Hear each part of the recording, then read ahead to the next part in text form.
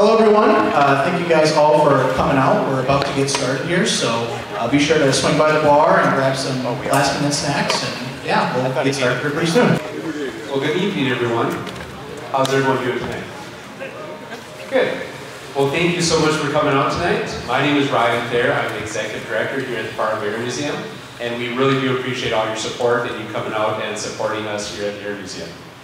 Um, tonight is our Cold War uh, History Night, uh, talking about the role North Dakota played during the Cold War, and it should be a really fun and very interesting evening. But first, I'd like to uh, get into a couple updates here at the Air Museum. Uh, our mission is to promote aviation through restoration, preservation, and education. So we have a lot of great new programs. Um, we have an amazing staff here. We have an amazing board of directors to help support us. Uh, we have some honorary board members here in the audience. Would you guys mind raising your hands? Thank you so much for all your support. So with education, we're, we're very, very excited to announce our newest education program. It's called the Little Flyers Club. And uh, our education coordinator, Karina, has really put a lot of work and effort into this. And uh, we are taking our advanced education camps on the road. So kids can come here to the museum. We have three camps a month. The kids can learn about STEM topics, STEAM topics, learn about careers in aviation, uh, learn about robotics, programming, avionics, a lot of really awesome, amazing advanced topics. Uh, but we've decided that we need to share that with more of the community here around Fargo Moorhead. So we've launched our Little Flyers Club where we go to schools like Kindred, Harwood Elementary, uh, Maple Valley, Detroit Lakes, and we bring our camps to those elementary schools to share our camps with those local schools. Uh, we've also partnered with uh, Experimental Aircraft Association, where they do a monthly camp here at the museum, where kids get to build a real, live, full-scale aircraft. It's a wooden aircraft, a Pete aircraft, uh, which is very, very exciting, where these kids get to actually build jigs, build wing ribs, all out of wood, and we're going to build a full-size actual aircraft. Now, it won't be airworthy, but um, nonetheless very, very cool. Uh, with preservation, we really want to focus on supporting our veterans. How many veterans do we have in the room today? Thank you so much for your service. We really appreciate that your service and everything you've given for our country. So we want to uh, help honor and support you through our uh, second Wednesday of the month. We do our Veterans Coffee Hour here at the museum, where we provide free donuts and free coffee. So if you are a veteran or a veteran, please come check it out. Uh, we have a lot of fun. And we also celebrate our military birthdays here at the museum too. So when the Air Force has an anniversary, we do a celebration, special exhibits. It's a lot of fun as well. And then lastly, our restoration stool, or uh, leg of our stool, is really focused on restoring and uh, preserving our history. So we do have uh, two aircraft in our hangar that we are restoring, our BT-13, as well as our Stinson Galway. So again, we want to uh, promote aviation through those three facets, education, preservation, and restoration. And again, we can't do this without uh, guys' support coming out and attending our events. So again, thank you so much for uh, coming out tonight. I would like to introduce uh, Max Saban. He is our collections manager here at the Fargo Museum. Thank you so much.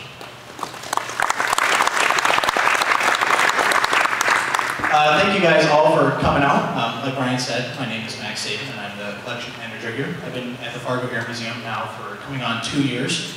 Um, I know we're all here to hear some amazing stories and you know talk about the Cold War here on the prairie. So before I begin, um, after the show, if you guys wouldn't mind, we have a brand new exhibit that's opening that coincides with this incredible uh, presentation called Cold War on the Prairie. Um, be sure to check it out if you guys haven't already. But without further ado, um, we'll get started. So um, I kind of introduced myself already, but as you can see, we have some three amazing guests, so I will pass it off to them to introduce themselves and tell a little bit about their backgrounds and you know why they're up here. So let's get started.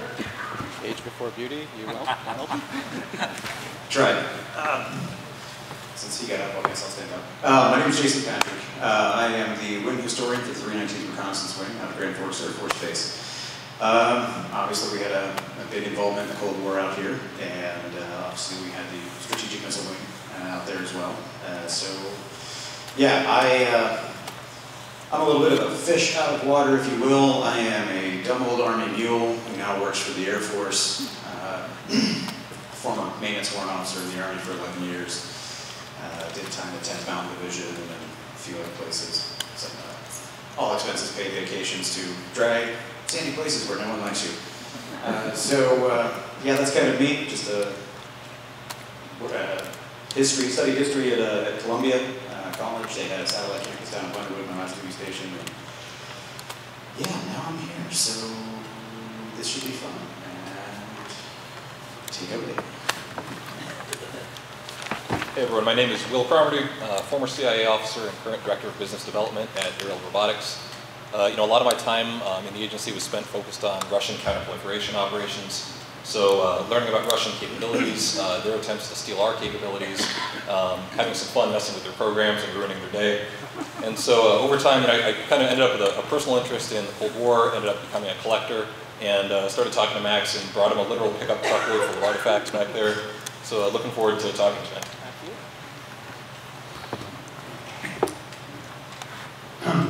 I really am the fish out of water. We have two content experts up here and a former missile launch control officer from Grand Forks Air Base. Now, a little bit of bio on me, I guess, is I'm a farm boy from Wing, North Dakota that went to NDSU for an ag degree, went through ROTC, and ended up uh, being a nuclear weapons officer for the Air Force for four years. So that's what I did. I was a missileer, a silo jockey, down below uh, the soil of North Dakota, is about 60 feet down, and uh, had a lot of experiences, uh, some good, some not so good. And uh, so that's what I did. I spent four years doing that, and then left the service. Uh, went into private industry, then went back to government, and last year retired from the USDA. And so uh, lately, uh, we've been spending our summers at our lake house on Pelican Lake over here in Minnesota and running and spending our winters in Bismarck. And uh, all four, all three of our children are NDSU grads, and my wife and I are, so we spend a lot of time here uh, watching Bison football. Awesome. All right, let's get started. So this one is up first for Jason. Um, so when did Grand Forks Air Force Base open? Well, before I answer that, Max, um, you, you did not tell me that there was going to be a spook here. so, sorry. I, I couldn't resist. I have a horrible habit of reaching for low-hanging fruit when it comes to humor. So, bear with me and please forgive me. Uh, okay, so fire away again. Sorry. Distracted myself. No worries. Um, so first question is, uh, when did Grand Forks Base, uh, Air Force Base open? So Grand Forks Air Force Base became operational in, in, in 1957. Um, and, and, and that's obviously a significant date for the base, but kind of what I think may be a little bit more significant is if we turn the clock back a little bit to 1954, uh, Department of Defense and the Air Force looking to put uh, new bases up in the northern tier area to be able to you know, do intercept missions uh, and, and things like that. And Grand Forks was on the list of locations. And the amazing part about this, though, is that the, the city of Grand Forks actually raised the money and paid for the 5,400 acres that Grand Forks Air Force Base occupied. Uh, it was it was that big of an influence to have it there uh, that that the community wanted it there so much that they uh, they paid for it. Effectively, they paid for the land. Um, I think uh, I think grubbing operations on the runway started uh, in 55, 56. Uh, it became active in 57. Uh, and we've got a gentleman that I was talking to out in the audience who was with the 41st, 33rd, right back there. So that was the that was the first unit, one of the first units to stand up at Grand Forks, uh, along with the 18th uh, Fighter Interceptor Squadron, uh, flying F-101 Voodoos. So uh, that's that's kind of when Grand Forks started as far as the Air Force Base. Gotcha, gotcha. Um, well, that's a perfect segue into our next question. Um, what were the first aircraft assigned to Grand Forks Air Force Base and when? And then what were the first missiles? Okay, so we already mentioned the F-101 Voodoos, uh, and that I think those aircraft got there 57, 58. It, it wasn't right away. It came a little bit later. Um, then you had the KC-135s coming in to support that. In 60, I remember correctly, is when the uh, B-52s sh- showed up.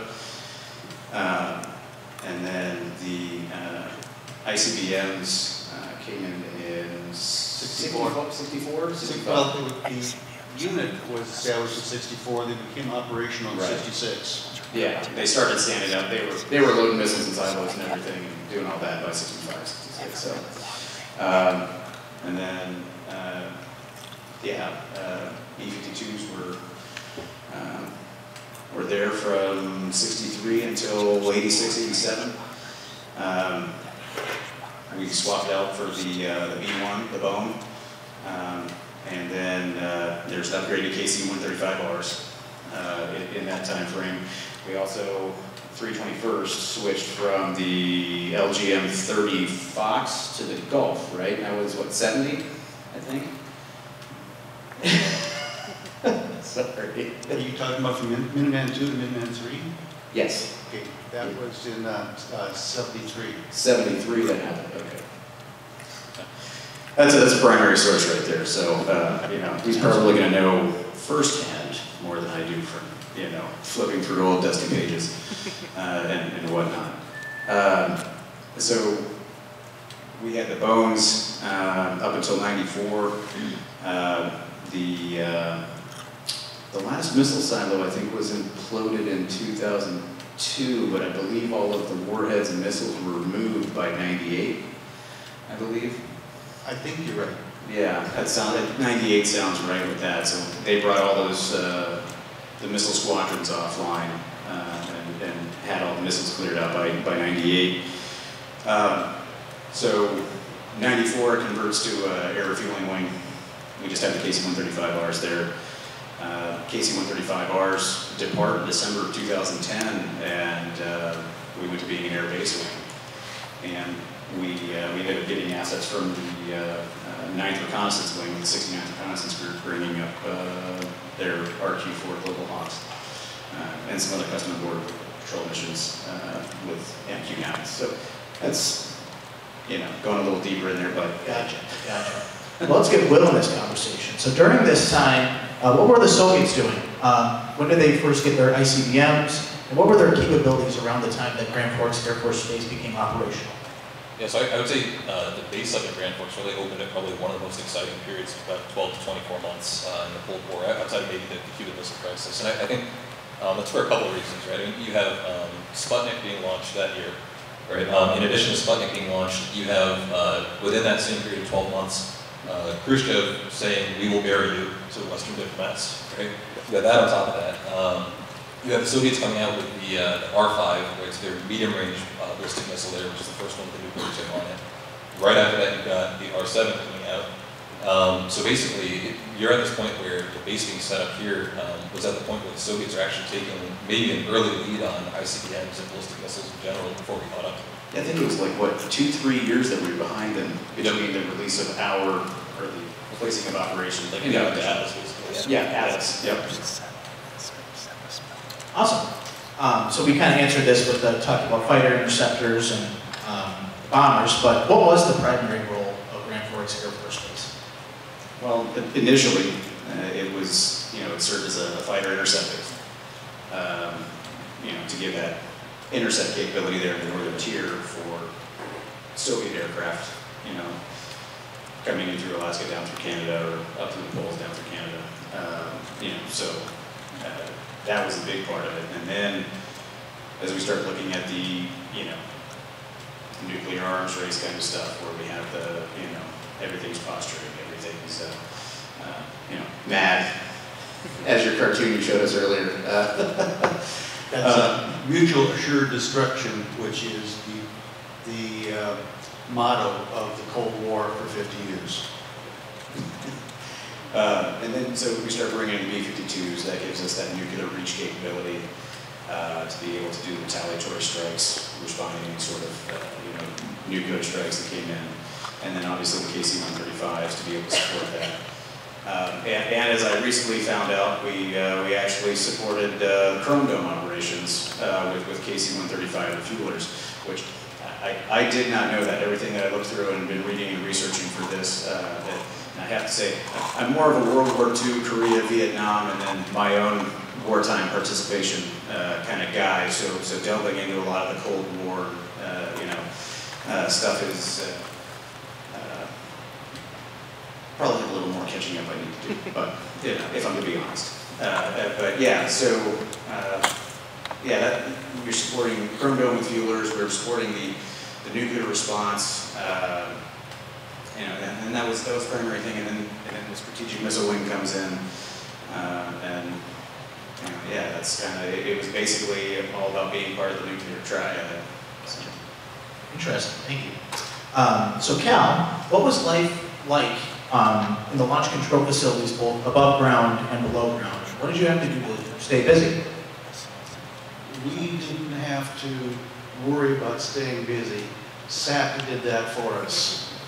Um, When I first went to Grand Forks in uh, 1978, we were pulling 24-hour tours down in the, in the Launch Control Center and then come up. Uh, My last two years, we pulled 48s.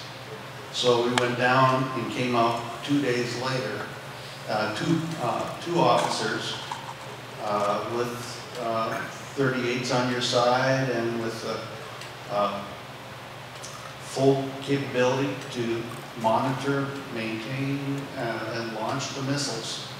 Uh, And you're down there for uh, 48 hours at a time. And there's always maintenance going on on the, the missiles. Uh, and so we had to be down there monitoring the connectivity and monitoring all the security, monitoring the maintenance, uh, for everything that's going on. And, uh, in the evenings, once the teams went back to base, uh, one officer could sleep at a time in a little enclosure we had back there with a mattress and a big rubber surround some, surround something. And, but we always had to be available in case there was an EA, an emergency action message. And they came about every five minutes. And there was always testing, always something going on. Uh, so you didn't get much rest while you were down there. And you were uh, fairly eager to go back home to your, your, your wife and kids, uh, wherever the base, how far you were from the base. So uh, there was maintenance, it was a mad time. And one of the things that the uh, Air Force did for us, silo jockeys downstairs, is what they call the Minuteman Education Program. And if you were to come up to the northern tier bases and go into missile silos, do a four-year control tour, they would pay for a master's degree for you. And uh, UND participated with that. You could either get an MBA or uh, MPA, Master of Public Administration. And so you- your downtime, whenever you had any down there, you're studying. And so I got my MBA while I was down there from UND on top of my two NDSU degrees. That's really interesting. Um, so I have to ask, um, while you're down there, I assume you mentioned you're very busy. Um, you didn't really have that much time to make small chat or small talk with the fellow officer that you were stationed down there with? Oh, yeah. You were working side by side with them and, and you got to know them very well, especially driving out from the Air Force Base. And there are stories for that if you want to hear them. But, um, You got time? See, I, I grew up on these gravel roads in North Dakota. I couldn't drive less than 60. And the military speed limit was 30. They didn't let me drive very often. So anyway, you got to know people very well. So I have to ask, um, was there a contingency plan for missileers below ground? You know, in the worst case scenario, the keys had been turned, the buttons had been pushed, missiles were on their way, missiles had been sent off. Did you have a plan for what you were going to do? Bend over and kiss it. Yeah, there was an emergency uh, uh, hatch that's filled with sand that you could, after the appropriate time, uh, get yourself out. And uh, if you were still alive and, and you weren't radioactive and stuff, uh, there was a plan that uh, we would meet at the Cooperstown uh, uh, Park, that anybody that's still alive and functioning, uh, to get back together and provide a military response. But realistically, um, when I went down to Vandenberg Air Force Base for training in 1978, the first day of training, they put you through uh, an experience of what you'd be doing and what the weapon system that you were working with and what its capability was and kind of what to expect if we had a war. And with the mega tonnage that we knew was targeted on Grand Forks and Minot, if it were all hit, which it wouldn't hit because they had such lousy uh, um, guidance systems. If they targeted Grand Forks, it'd probably hit Fargo. but if they all did hit uh, Grand Forks, the two craters would meet at Devil's Lake. That's how much in the war zone we were. So there wasn't much hope that if we ever got into a shooting match, that there'd be anything to crawl out for. Thank you for sharing that. Um, so this is both for uh, both Jason and Cal. Um, so how large was the missile field in and around both Grand Forks and Minot? Can I take that? Absolutely. Okay, the 321st uh, Missile Wing was comprised of three squadrons. The uh, 446, 447, 448. And the 446, okay, back me up here. Each squadron had fif, uh, pardon, 15 launch control centers. And each launch control center had connectivity through uh, wires and cables and everything to 10 nuclear missiles. So each of those squadrons had 150 missiles, all dispersed, you know, roughly um, equidistant. But the 446 started at the Canadian border, and it came down, and then the, the uh, 447 started just north of Highway 2, and went down, and the 448, oh, started off Cooperstown and went down to I-94, and it went down to Valley City. The other thing to remember is that we're talking history here for Grand Forks. There still are 150 nuclear missiles in North Dakota managed by Minot, and they are uh, as potent and as operational as they ever have been. Yeah, no, that's pretty much spot on. Uh, my notes that I made, you know, basically is uh, it stretched from as far north uh, to uh, uh, Mount Carmel. I think just outside of Mount Carmel. Uh, far west is Starkweather. South is Tower City. For about for the south uh, region. There's about what 45, 50 miles between the first missile silos and then Grand Forks Air Force Base. Again, I, I guess the thought was that maybe it'd provide some level of standoff by having it that far away. I don't know. Um, when you're talking about close, close on the counts of horseshoes, hand grenades, and nuclear weapons. Uh, You mentioned Starkweather. hmm. Uh, my wife is from Starkweather. And a little outside story here, but when I was at Vandenberger training, we had a week's, you know, delay in our training. And my wife was going student teaching at uh, Devil's Lake and living at home yet with her parents at Starkweather. And so I'd come back up here with my TO and the training materials and stuff to study while I came up for a week's vacation with them. And so I pull out my, my TO, my tech order, with my father-in-law, he was 100% Norwegian. And uh, I show him the diagram, pull out page, the diagram of the 60-foot missile and 120-foot silo. And I point out the, uh, the three multiple retargetable warheads. And he looks at it and looks at me and says, you mean there's nuclear bombs on that thing? There was a, a mile and a half from his house.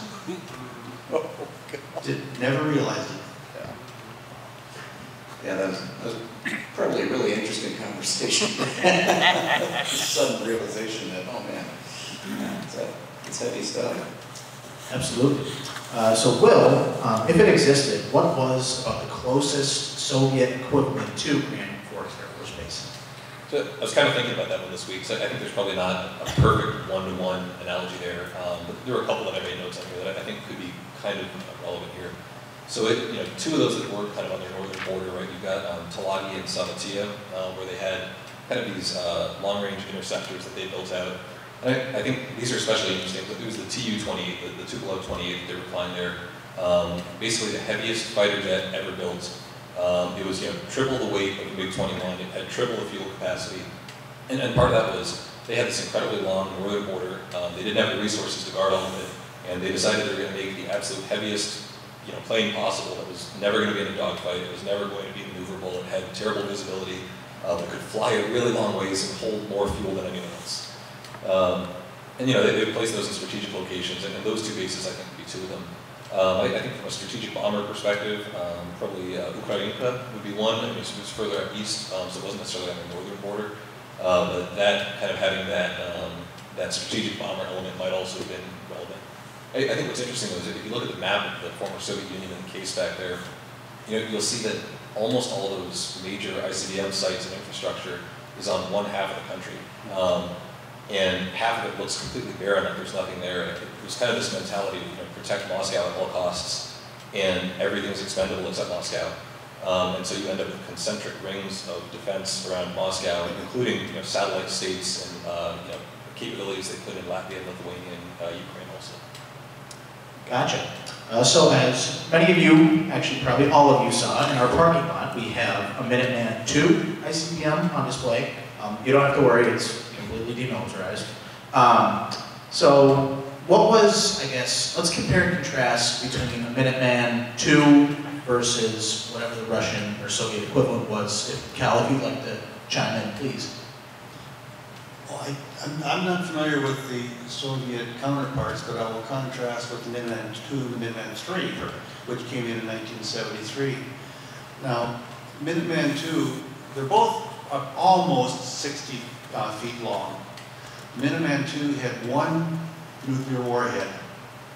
When Minuteman IIIs came in, they had three warheads uh, under the shroud, and with the the, uh, capabilities that we got in the CDB came in uh, about 19, uh, about 77 or so, that we could retarget those uh, bombs, those uh, reentry vehicles, uh, from our launch control centers. So the missile maintenance people didn't have to go out there at 40 below zero weather and uh, go out and, and retarget them in the silo. Uh, so we, once they lift off, you can't change them anymore. They're going where they're going. But uh, if uh, National Command Authority decided that they wanted this one to go to Leningrad instead of Moscow, uh, we could do that from our launch control centers. So the retargeting and the multiple uh, warheads, but then again, uh, after I left, uh, with the arms reduction talks, uh, they did take the Minuteman IIIs from three warheads down to one again. So take it away. And, and so, you know, the Soviets had kind of an interesting approach here um, with the R-36 because, you know, like you mentioned before, their, their accuracy was not as good as the U.S. ones. They didn't necessarily have that ability to, to maneuver them independently. Uh, their solution was just to pack 10 nukes onto one of them. Um, and it basically it was like a cluster bomb of nukes. Um, and, and, so even if they couldn't precisely hit one city, if you hit a city with 10 nukes, you're, you're probably going to get it. Um, and, and, that was basically their, their approach there at that point in time. At the, at the height of the Cold War, uh, the U.S. had approximately uh, 20,000 uh, nuclear weapons. Soviets had 30,000 because they didn't have the accuracy, so we let them have uh, a lot more tonnage and a lot more numbers. Uh, at the height, okay, I'll, one more thing something to think about when we look at the Cold War. The bomb that hit Hiroshima had the equivalent TNT of 14,000 tons of TNT. At the height of the Cold War, if you take all the nuclear bombs in the world, we had 70 billion tons. If all of those went off at one time, what would happen to our global experience? Now, we're lucky enough now that we've gone down from 20,000 bombs down to less than 1,000. But we still have lots of them all over the world. I would say also just on the Soviet side, um, even if one of those went off, you know, with, with some of the ones they started building there, like Tsar Bomba, which is basically like the Tsar bomb, the, the biggest one that was ever detonated, um, that was a couple thousand times stronger than what was dropped on Hiroshima. I was say, wasn't there a second model that they did that was even bigger than that? I can't remember what the kiloton rating on that was, but it was significantly more powerful than the first Tsar bomba. Yeah, in, in, um, in in the case in the back, in the top right back there, you'll you'll see this clear fallout map um, that I brought in, we overlaid there over a map of North Dakota. Um, and, you know, if, if you were to do Tsar Bomba, it wouldn't even fit on that. It, it- it's that much larger. Oh my gosh.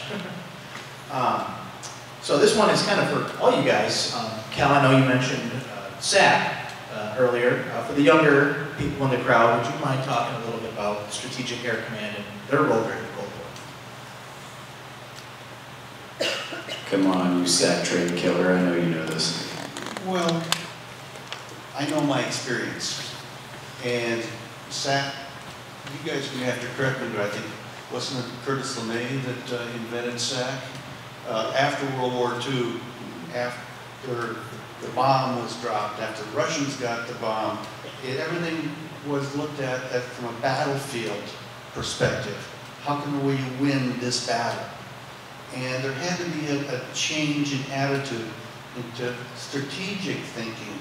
You know, a lot of it was, okay, how can we stop them from starting a war? And that permeated throughout our whole military, but especially the Air Force. And so we looked at, okay, we talked about mutually assured destruction. That's, I had a little cartoon here a little bit ago, and basically, and uh, two caricatures, two, two individuals uh, laying, looking at each other under a guillotine with a hand from one over on the other guillotine and their hand on ours, eyeballing each other. And that's how we stopped going to nuclear war for 50 years. Everybody knowing that we, if they dropped a bomb, say in Ukraine, that it would start nuclear annihilation back and forth and it would not stop. And everybody would be annihilated. And that's mutual sure destruction. And Strategic Air Command was the part, was the command within the Air Force that uh, uh, the newts belonged to and looked at that type of thinking and allowed the rest of the Air Force to look at battlefield and, and uh, that tactical kind of thinking. I, I think also on the, the Soviet side, it's, it's interesting because um, instead of Strategic Air Command, you actually get these separate entities within the Soviet military.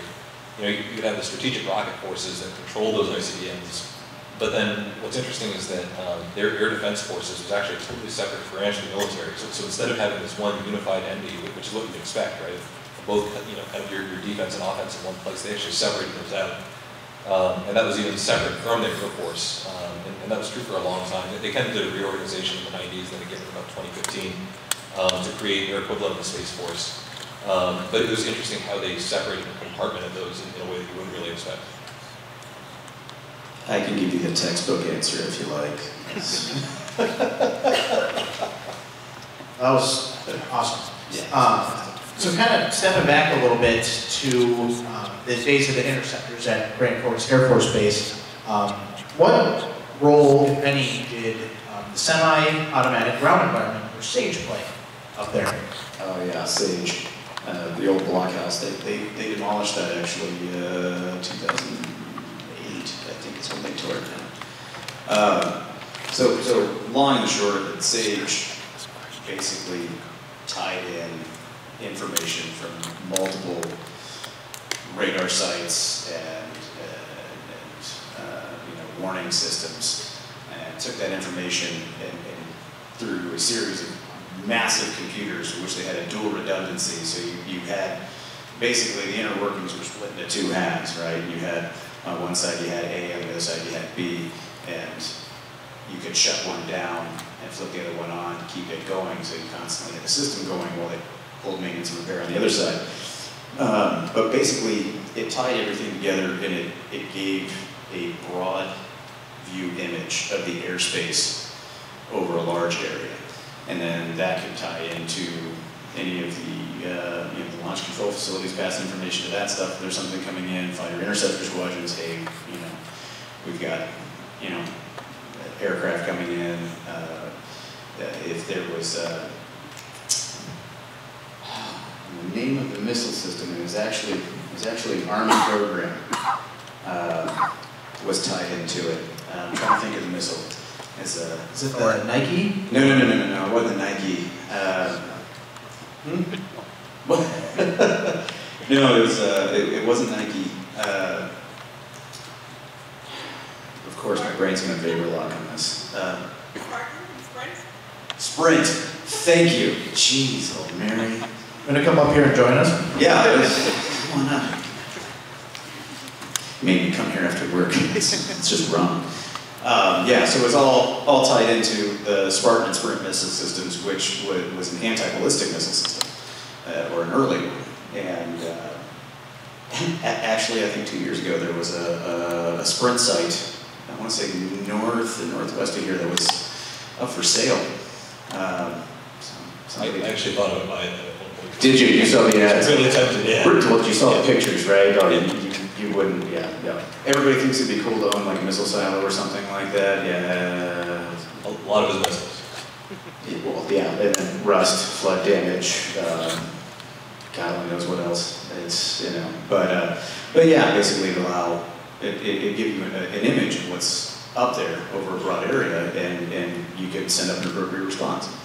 Um, you know, and, and that's basically what it did from, uh, gosh, 50 something, 60. I have it in a note, I swear to God. Yeah, uh, it's from the 50s to the 80s, Sage was active. So, um, yeah, that, that's what it was, and, and we, uh, I think Nekoma, the pyramid, that was tied into it, even though it was, what was it, 100% active for like all of 72 hours, and then they realized somebody got the utilities bill and decided that was probably a bad idea. And, uh, and it was on a, a reduced capability uh, operational stance. And it was run by the Army. Hey, look, look, I get it, I get it, I'm down Army Mule, I get it, I get it, don't worry, I'll get my shots in later, it's okay. Yes, sir. You're talking about anti-ballistic missile systems. Hmm. If a ballistic missile is intercepted by one of these things, does the strike of the, of the missile disengage the detonation system on the, on the uh, inbound, or will it go off? So if I, if I heard you right, uh, you want to know that if uh, any ballistic missile system hit an incoming ICBM, would it disable the, the missile as well as, the, most, most specifically the payload and prevent the detonation? system to keep Right. Uh, You know what, I, I don't know, that's a good question. I mean, if you could then disable the whole missile and disintegrate it, then, They were nuclear tipped. right, so either way, you're gonna have some sort of fallout. It, it was, it was, uh, a nuclear explosion is gonna, uh, either take that missile out, destroy it, or disrupt its guidance system. So the anti-ballistic missile has a nuclear warhead as well. Right. Yeah, yeah. Yeah, the Army came up with that, sorry. Look, there's a lot we get right, there's a lot we get wrong. I'm willing to take the hits for it. Uh, But yeah, so, basically that's what would happen. Are there any other questions on that one? or- We, uh, we'll answer, we'll open it up to the audience at the end of the questions up here. Yeah, no, that was, a- that was an awesome Yeah, question. thank you. You for bringing that up. Appreciate That's, uh, So Cal, I, I have another question for you. Um, I am uh, also an MSU grad myself, and I have a lot of friends who are farmers or sons of farmers from rural North Dakota. Um, and one of my friends mentioned, you know, long before he came to the world, um, his father was combining during the harvest season and struck a cable. Um, was this something that happened pretty regularly, or was he just lying to me? Um, um, do you have any examples of that?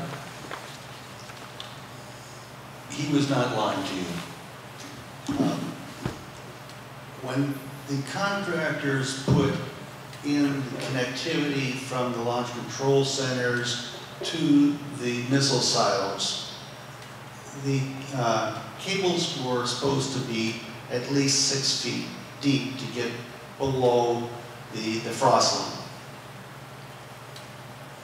And they put them in real fast and a lot of them didn't. Okay, and so with our frost upheaval up here, you know that the frost, you know, the ground goes up and down. And quite routinely, uh, we would cut cables, um, when our, with our farming.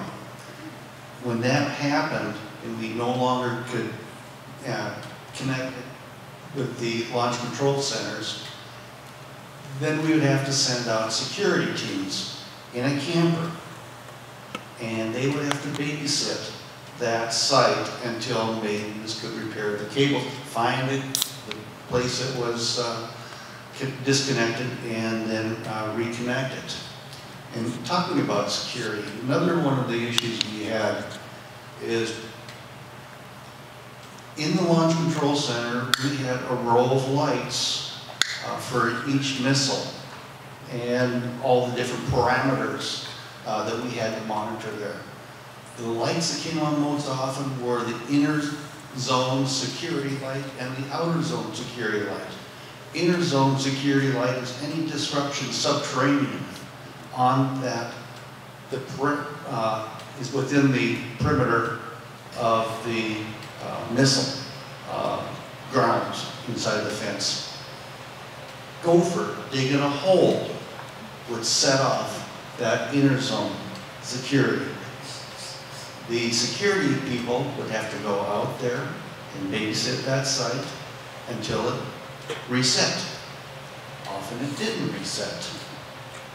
And they would have to sit in that camper looking at that uh, uh, cyclone fence to make sure that nothing happened to it. The other one is the outer zone security fence, uh, sensors I mean, which are up on poles uh, along the fence. Birds fly through that security sensors, especially when sunflowers started getting planted up there. And those security uh, teams would have to sit there and babysit that missile. When, when sunflowers really got big up there, we didn't have enough security people. But those are some of the interactions uh, with farming and uh, nuclear weapons. Interesting. Well, that, that, actually, that, that cable, the, network is kind of interesting, because it, it's a hardened intersite cable system. And what I thought was kind of neat about it is the fact that the whole cable system is pressurized pneumatically. And so if there's a drop in one PSI or more, it automatically trips anything. And so, you know, even though it's so robust, and they designed it that way obviously for survivability, you know, if you can't get below the plow line just due to frost upheaval and things like that, you get those nicks, that's pretty neat. I think to have a pneumatic sensor like that, just to going out for, I mean, thousands and thousands of feet of cable, you know, network spider web between, you know, the, the various actual silos from the math. Uh, I just thought that was a really cool system when I was reading on it. Another case for no-till farming. So, Will, um, following the end of the Cold War, um, I guess how many Russian advisors, or I guess was there a specific term for the, the advisors, I guess maybe, that came and oversaw the destruction of these missile silos or the you know, removal of the ICBMs? Uh, so, you mean um, inspections here in the US? Or Yes, correct. oh, okay. Or I guess either or. um, I, I would say um, for a lot of the infrastructure that was in the former Soviet Union, um, it was a little bit chaotic, right? Because I mean, all of a sudden it's different countries now. Uh, a lot of stuff was unguarded, and people aren't being paid. They don't feel like guarding things anymore. Um, and so, you know, a certain amount of military hardware walked off. Um, you ended up with arms dealers taking over a lot of it. You know, you look at Viktor Bout, um, who the Oh, yeah. War is about. Um, you know, he ended up with a pretty large chunk of, of arsenal there. Um, about a third of it was sitting in Ukraine. Um, and the Ukrainians eventually uh, destroyed that. And obviously now, you know, this year there's been a lot of debate about if it was a good idea for them to, to disarm, um, given that was done with the promise of, um, of help if the Russians ever invaded. And so, you know, you end up with each individual former Soviet state kind of making their own decisions here about what they're going to do with that hardware. Um, and then I, and on the U.S. side, you also had some uh, some knowledge of visits to Grand Forks Air Force Base. Yeah, we did have visits uh, during all the START Treaty stuff. Um, I, I- can't give you specs on how large the Russian teams were and whatnot, but I do know floating around in, in, in my archives, I've got photos of, of the Russians coming out and meeting so yeah, that, that, you know, that was actively going on. I mean, not just here, but across the country on those sites. Um, what was it? In the clear sky or um, where, you know, basically they could do overflights of the various areas and, you know, monitor things that way as well as sending teams out. Uh, you know, so you had boots on ground doing inspections. But, you know, one of the other things that came under the START Treaty was, so, you know, if you're familiar, we've got that, that B-52, we've got that AGM uh, 28 Hound Dog, and then we've got the, okay, well, actually, we, we, we don't have the Minuteman currently sitting up. but We're working on that. For those of you who are concerned about that, we're trying to square that away and get the missile back up. Uh,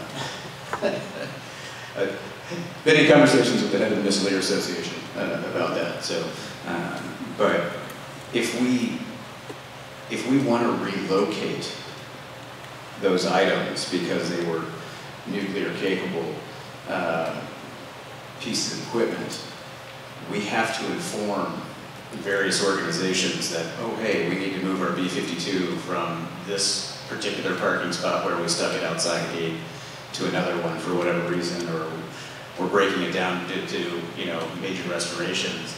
We have to, we have to inform them that we're actually moving it, because everything is so precisely counted, you know, accounted for and monitored. Uh, so you get a Soviet satellite or something goes, well, okay, I say Soviet, but Russian satellite rolls over, you know, this neck of the woods and sees, oh, hey, where, where'd that B-52 go? What's going on there? We're gonna get a phone call. And they're gonna start asking questions. So, yeah, it's, uh, it's still stuff we're even dealing with today, even after the collapse of the Soviet Union and all that. And I, I think the topic of accountability for materials also gets interesting because, you know, even, okay, things like smoke detectors, right? You know, a smoke detector in the US uses americium-241. Uh, the Soviets actually had smoke detectors that had plutonium instead. And so there are abandoned buildings in the former Soviet Union that have uncontrolled plutonium sitting inside smoke detectors. Um, the Soviets also experimented with uh, nuclear-powered lighthouses because they worked really well in cold areas, um, and you didn't really have to do maintenance. if You could leave a lighthouse there for a long time. But those were uh, radioisotope thermal generators, RTGs, were also powered by plutonium, and they kind of just got left there. Um, so there are little bits of plutonium all over the former Soviet Union that no one's really watching. Um, and that, you know, from an accountability perspective, it's kind of concerning. Right, yeah, yeah. Somebody needs to go in there with an Excel spreadsheet or whatever checklist they got and do some, some bookkeeping. That's scary. When I separated from the Air Force in 82, my last deputy, his name is Jack Crum, and he's the one that's got me into this tonight. But uh, he's now retired, living in Pennsylvania. But uh, after he separated from the Air Force, uh, it was right during that time period, and so he went over to Russia and became one of our inspectors over there. And he said, lots of vodka flowed. I can believe that. Um, so now we're going to open it up to the audience. Um, I don't know if we have any questions out there. Um, got one up here front. My question's for Will and Cal. Uh, first, Will, in general, what do you know about the clandestine operations that the Soviets were doing in this area in general? And then, Cal, did you and your team ever encounter that? How much did you have to talk about be on guard for the pretty girl at the bar that wants you to tell all the secrets? Uh, what do you, what do each of you know about that back? honeypot trap.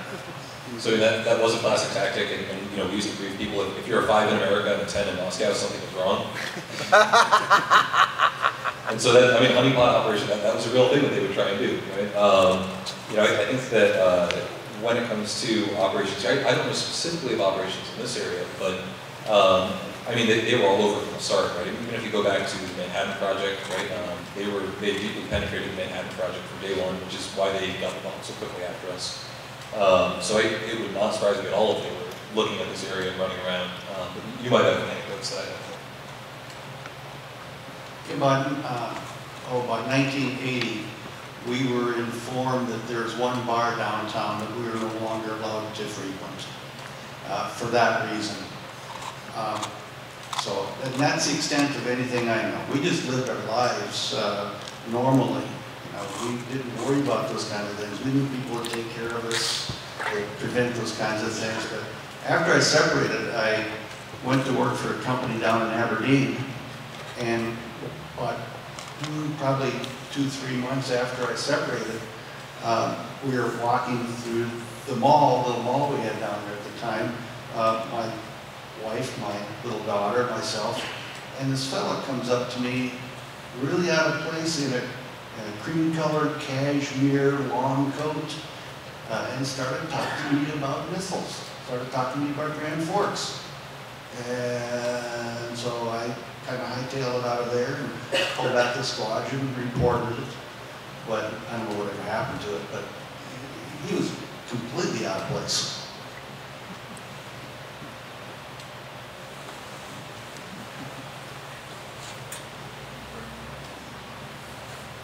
Question is for Cal. So if you had gotten the order to launch, in your heart of hearts, would you have sent that missile up? That's a tough one. It's not tough at all. In a second. In a second. Let me explain. Every two weeks, they would put you in a computer simulator of a launch control center and spend four hours doing nothing but simulated launch and emergency procedures. And you've done that time and time and time and time again. And by the time that we- actually close to, did doing that once, there wasn't a single person that wasn't sal, I mean, just salivating like Pavlov's dog, you know, wanting to do what they've been trained to do. And we were, we were five seconds from a launch order one time. And after I left the military, and there, I woke up in the middle of the night about six months afterwards with a cold sweat in the middle of the night saying, what the hell did we almost do? And there have been several times we've gotten that close in the last 50 years. And there's no doubt in my mind that everybody would have absolutely done it. And then what do we, what did we do afterwards? Did you have a no lone zone policy? Okay, um, you're talking, a no lone zone policy, uh, in the launch control centers or on base or Anywhere. anywhere? Okay, Warhead. for Warhead. Okay, uh, in the launch control center, okay, any place that is sensitive, there was a SAC two-man policy. That two individuals, enlisted or officers, you know, had to be present at all times. Okay. Now, in the launch control center, uh, we had to have two officers, two launch control officers there all time. Now, like I said, one could be sleeping in the middle of the night as long as he was there, and the uh, door was pumped shut. But anytime it was open, both had to be there with the 38s on, on the side. I'm going to give you a, a little bit more detail than you want that question. Okay, the launch, has everybody seen the, uh, the movie War Games with Matthew Broderick? Okay. Other than the topside building, which looks like an old farmhouse, the thing is absolutely accurate. You could have taken the downstairs um, and made it, you would have been down the 447th Squadron at Grand Forks Air Base with the red ascots and the blue uniforms, the 38s on the side and everything. That was our mock-up of our launch control centers. You know, it's 60 feet down, 40 feet from the roof to go back up to the, to the prairies. But that was what, where we lived.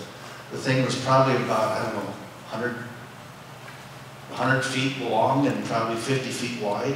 It's solid air uh, air conditioner in the center with computer banks around the outsides. And, and the, if you had sinus problems, you didn't down there because it was zero percent humidity. Because they were cooling the air, the computer banks down there and you were living in the middle of it. Every launch facility was a no-lone zone when the A circuit was open and the B drive was down. If, if the silo was open, it was a no-lone zone. Go, You go did ahead. Follow the rules. Wait, wait, You were wait, wait for the mic. Give him the mic, right here, yeah. I was just gonna say, every launch facility where the missiles were at, Yeah. were no lone zones. If the A circuit was down, was opened up, and the B plug would drop, so there was access to the missile. If at any time anyone violated a no lone zone, they were gonna get jacked up. And it was an honor and privilege to jack them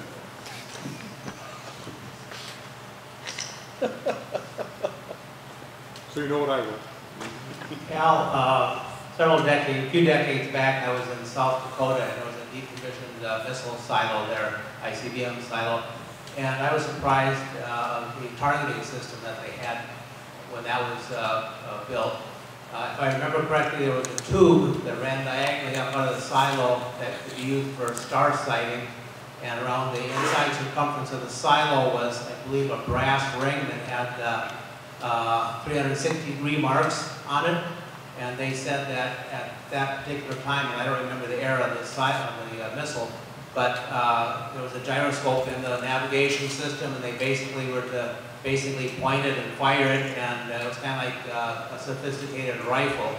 And once it left the silo, uh, that was it. And I imagine some of the Russian systems were not very sophisticated in that era also. Could you talk about uh, the, uh, uh, the navigation systems as the uh, missiles uh, got uh, more technology? I can only address what I experienced, okay, when I was down there.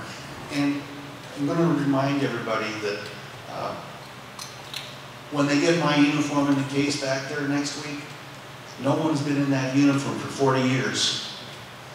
So you're getting a point in time. Now, we never had anything like you're describing in the Deuce capsules up here. Now, the Deuce, the Minuteman II capsules uh, launch control centers stayed for the Minuteman III missiles.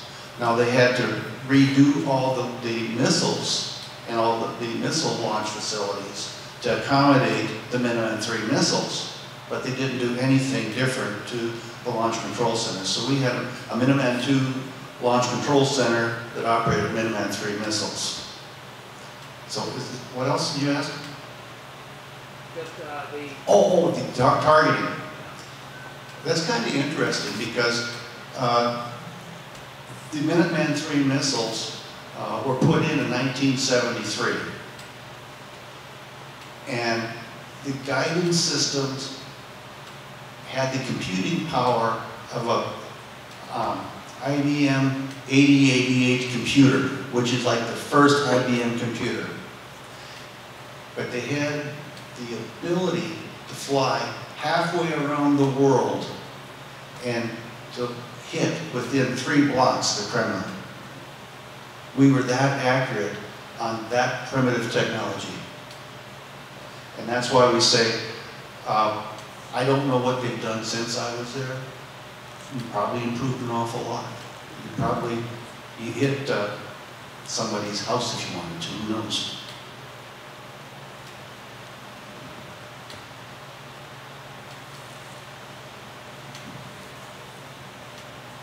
I so one of, one of my experiences I thought was interesting is uh, people did not realize how much firepower was out in the missile field. Uh, I, I don't know how many people know that we have machine guns, we have grenade launchers, M16s, and there are a lot of us out there. At Grand Forks, at the height, they had 1,000 security personnel. A thousand people just for the missiles, weapon storage area on base, and the B-52s. And peacekeepers. Yes, and, and I, I just remember Ford, Carter, and Reagan. Let's just say when Reagan won, there was a, a lot of applause throughout the base. But he, when he came in, we severely upgraded into armored vehicles, much better equipment. We had old, basically, Vietnam War junk. The flak vest just made you sweat, it wouldn't stop anything. And, and the pot heads, you know, steel pot and stuff. But, uh, I don't think people, I, I'll tell you this one story. And because you mentioned, when we got out, you talk about security, uh, we signed non, non-disclosure forms when we got out, what we were allowed to talk about and not talk about. So I can neither confirm, deny there were ever nuclear weapons at Grand Forks Air Force. But I'll just say, theoretically, we were bringing back one time, and uh, an 18-wheel vehicle got too close to our security vehicle and would not get off our rear end. So he had a business end of machine gun at him. And he incredibly cooperated immediately.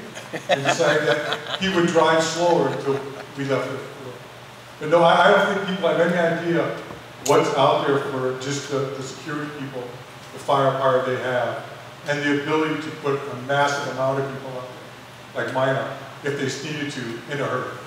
Because they have a whole, the chopper, we could fly people out of sight. And there was, I'll just say, there was a fire, people got hurt, theoretically nuclear weapons might take a wrong road on occasion. There was all, lots of stories.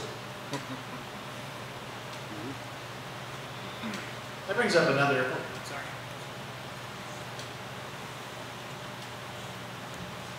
Uh, Just a question about potential targets of those 20 or the 1,000 of missiles that we have, uh, like, web, like military, civilians, what, what kind of classes of targets US was looking at, Wow. or is looking now?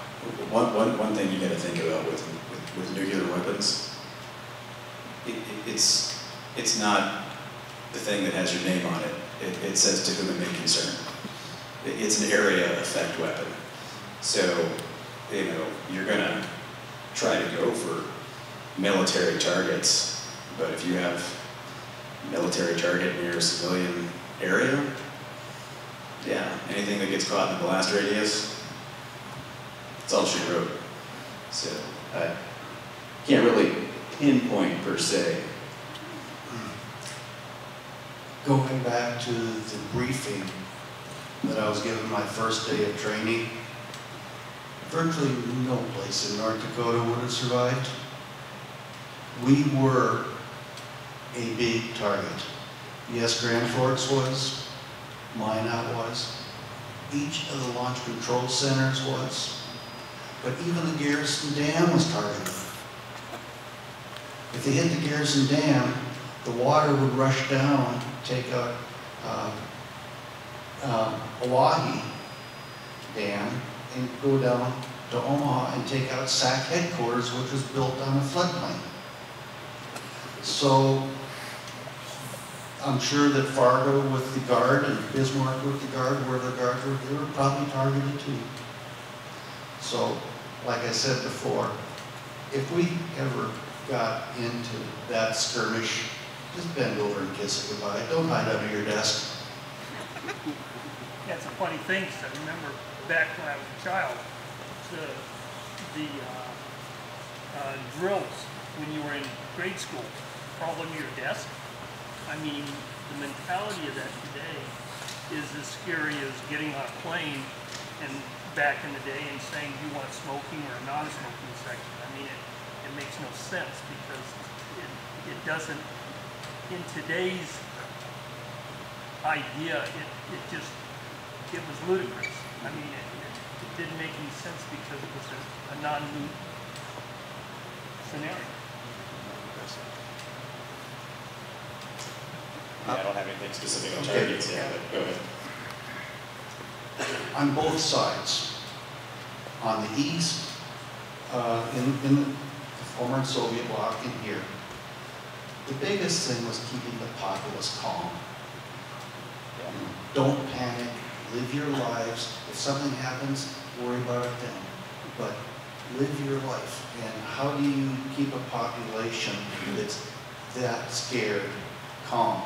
Give them something they think they can do for it. And we did, we survived, we lived through it all. We're all much better people for it. Well, I mean, we, even did that in the, you know, in the military. Yeah, I don't, I don't know what basic training was like for you, and, and you CIA guys, I don't even know what's going on in Langley.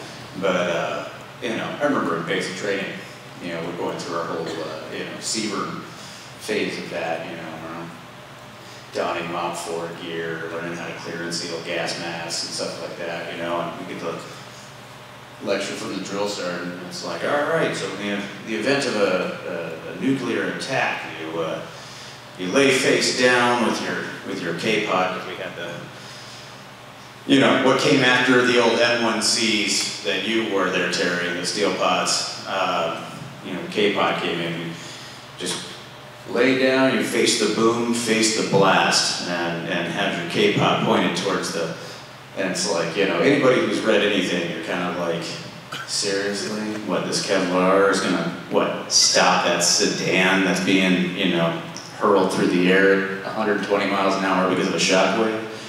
Okay. But, you know, you still did it, you still trained it, so it's ingrained, you know. But yeah, it's given something to do. That, that's, you feel like you're out of control, you can't do anything, you panic, panic creates more problems. Uh, Did they tell you that when you were going through, no, no, no, no face the boom, face the blast? Just stay in the hole. Well, that was, if you, if you weren't in a foxhole, that was the, if you weren't in a foxhole, right. Now, the, the, the very nicely dug, uh, perfect 90 degree machine gun pit uh, with grenade sump that I dug would really, you know, do anything for me uh, in, in, in the event of a nuclear blast. But if I was caught outside, face the boom, face the blast, you'll, you'll be good.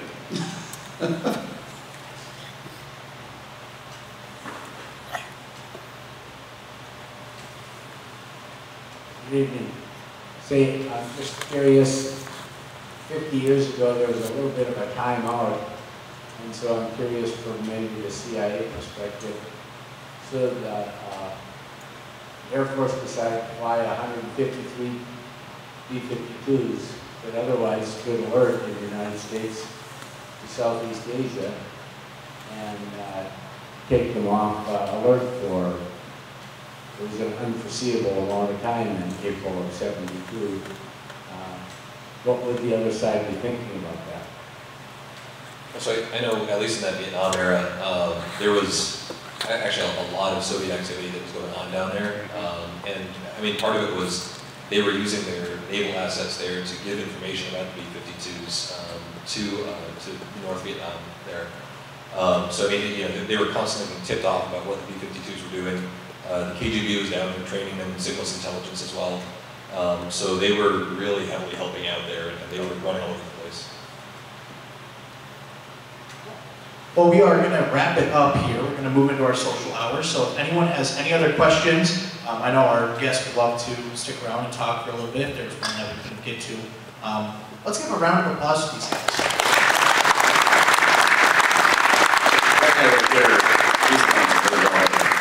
The round of applause. You're the, you're the one that's out there with all of that responsibility. That boggles my mind. I, I know I visit the Oscar Zero site, and I've gone down there, I took my kids down there, it's just. And, uh, you know, kids nowadays have no perspective.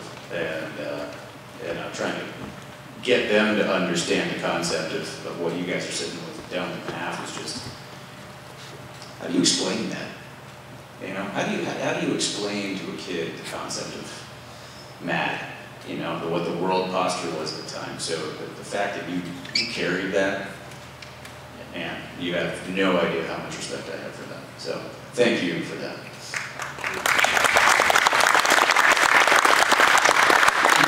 I don't know how to uh, inform uh, this current generation about uh, the 50 years of Cold War that preceded, you know, them being here. Uh, My granddaughter, my oldest granddaughter, when she was 10, she had an assignment to interview uh, someone who had been in the military about their experience. And I very enthusiastically did that with her. After about 15 seconds, she spaced out. No way could she comprehend, you know, a missile silo. Could she comprehend a missile? Could she comprehend uh, a war that actually went on in our own environment, like the Cold War did for 50 years? Um, You asked a question, and I'm going to go talk way too much, I know, but in about, nine, about 2015, I caught wind that several states were working on uh, developing a uh, Cold War victory celebration from, on May 1st.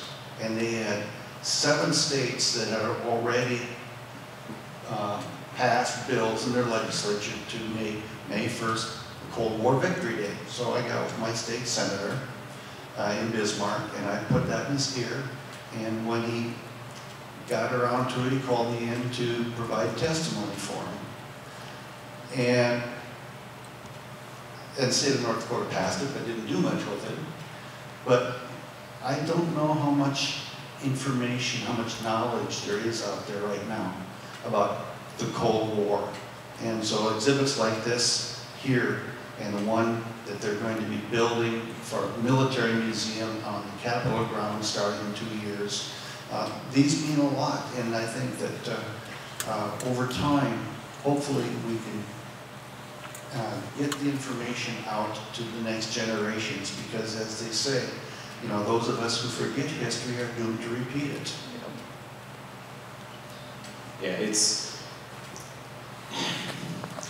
conversation that I've had frequently when talking about conflicts and today's generations, even our own military uh, in, in today's generations. And, and I'll even admit for me, um, the Cold War, as the Cold War, for me is not something that triggers dopamine production in my brain. It doesn't flip the switches, right? Um, I know it's important. I know it's critical. I know it was a crazy time, and, and like you said, just a hair's breadth away from you know global annihilation, uh, uh, just because of a sensor tripping the wrong way. Uh, forget his name, but the Russian the Russian guy who said no, we're not launching these missiles. Uh, one of the things is is how I think how we take in information and process information, and if you want to look at it from uh, from a standpoint of that, and, and please excuse my, my vernacular, but the Cold War is not sexy. You look at World War II, there's a, a in, in, the European theater, there, there's a certain level of, and when I say romance, I, I don't mean Fabio on a book cover, you know, kind of romance, but there's that, you're in Europe, you have the castles, there's a great crusade of, of freeing, you know, uh, from the, the, the, you know, the, the tyranny of the Nazis and fascists in Italy and stuff like that. Um, so it's kind of easier to wrap your head around. Maybe it, it, triggers more, you know, those switches in the brain that people can kind of somehow connect to, um, and, and, and, you see, you see a disconnect for like the Pacific Theater, because that wasn't sexy, that wasn't romantic. That was guys stuck on an island for months and their clothes literally rotting off their bodies because they couldn't get a supply ship in. And you know, but there's there's none of that action adventure kind of thing, which it's sad because of how, how many crazy critical things took place during that period of the Cold War. And I mean, we're not even talking Vietnam, you know, we're not even talking, uh, you know, the uh, uh, Bay of Pigs and stuff like that, you know, just traditional kind of Cold War thing. You know, there's so many different things that went on where you're a hair's breadth away from absolute annihilation. You don't even know. You know, you get the espionage stuff, that's kind of cool, but it's, it's not, it's not that wow kind of thing that triggers the dopamine sections, you know, part of our brains. And so trying to get the information out, I think one of the concerns that I have, are people gonna digest it? It's not been since I have matured more, gotten older, been to war a couple times myself, and then, you know, now coming and looking at things, going from an Army perspective to an Air Force perspective and learning that, that I've developed more of an appreciation and been able to more easily digest Cold War information into, to a, you know, in, in, in a way that gets me to think about it more. Um, so yeah, it's, I think it'd be interesting trying to figure out how to get them to digest that information. I, I think it's interesting also the Cold War topics. I, I think you, kind of almost get hooked on it once you start getting into it. I, I think Right, part of I that see is, yeah. It, it, it's almost the more that you learn, the more that you realize you don't know about it. Yeah. Um, and you, you know, I, I think part of that is like you look at what, what Winston Churchill said um, about trying to understand Russia and how difficult that is, right? You know, he, he said that Russia is basically a, a riddle mapped, uh, riddle wrapped in a uh, mystery wrapped in an enigma, Right. and that the only constant thread is Russian national interest. Mhm. Um, and I, I think that's very true. It's, you know, the more you kind of dive into this riddle of, you know, what was Russia thinking or what was the Soviet Union doing, the more you realize you have no idea and you want to start looking into it more. Yeah, you just gotta start peeling away things, and you have no idea, you start looking at like, hold on, wait, these guys were holed up in a hotel across from an embassy and using, you know, a laser to measure the vibrating frequencies of a light bulb inside the embassy and pick up what these guys are saying over there in your classified, wait, wait, wait, hold on, rewind that, I need to see that again, you know? That's all the stuff that was going on, it's really fascinating, but, you know, uh, you've got to peel back the layers. You've got to start digging, getting people to do that is, I think, it would be interesting. Historians are going to have a real challenge with this time period. Where I'm coming from is, you're talking about World War II, and mm-hmm. there were reporters embedded with the soldiers Right. at the, at the front. And so there was news and there was reports and there's information to get to the public. When we start talking about the Cold War, we're talking about secrecy. And there, even in my four years, there were things that would have made headlines if anybody would have known. Right. But they'll never know them Yeah. because of the secrecy, I suppose from both sides, mm-hmm. because of national security. And we have a CIA. Yeah, about that. But I would say also not, not only the secrecy too, but also disinformation being layered on top of that. Oh, yeah. With, with the Russians kind of being masters of that historically. Um, you, you know, it's, it's not only just the fact that they would cover things up or try and hide things or even cover up their own failures when things didn't go well for them. It's that there'd be disinformation layered on top of that. And so there are things that come out even today that, you know, you can learn about the whole They weren't the only ones that had disinformation. Yeah. You know, we had every communication system in the US military coming into our launch control centers. We had information of what's going on. We also had a little Sony TV set up in the corner to get the local news and weather. So we knew what was going on and what was being told to the population. You didn't want to know what was going on. It was easier to live your life not knowing. Oh, yeah, no, it's, it, there's, especially in recent times, and I won't go down that rabbit hole, um, at least up here. eh, There are things that have happened and continue to happen that if, and, and a lot of it's actually open source. You can go, you can go find it open source, but if you took the time and you read about it and you put the pieces together and you look at the world situation and everything's going on, you put a little effort into understanding these various adversaries. Uh, there's stuff in there when you start to think about it and you look at our own responses, it's one of those, great, I have just finished this book, I have just finished this whatever, I'm, I'm not going to be able to sleep comfortably for a week because I now know all of this stuff that's been going on right in front of my nose. We probably have to wrap this up. Yes. But let me just say that as Americans, we have to trust our government to do what's best for us. We do, because fine, you can do whatever, but I'm saying that if we had to focus on everything that's going on in the world, we wouldn't sleep at night. And it's much easier to sleep at night knowing that somebody with competency is monitoring and taking care of those things for us. And if you don't have trust in, in the National Command Authority and in your government, then you can go ahead and have sleepless nights. Let's get one more round of applause for our speakers.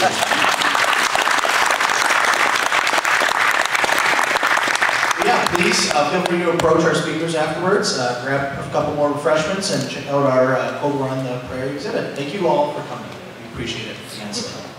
Yeah, mostly frankly, we don't bite, so, well, I don't, I don't know.